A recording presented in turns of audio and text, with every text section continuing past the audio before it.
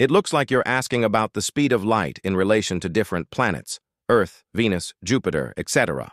The speed of light is a universal constant, speed of light in a vacuum, 299,792,458 meters per second, approximately 300,000 kilometers per second.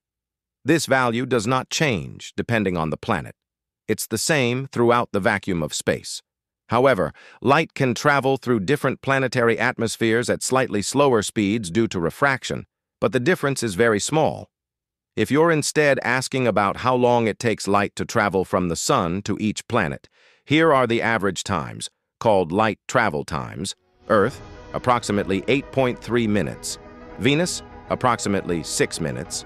Jupiter, approximately 43.2 minutes.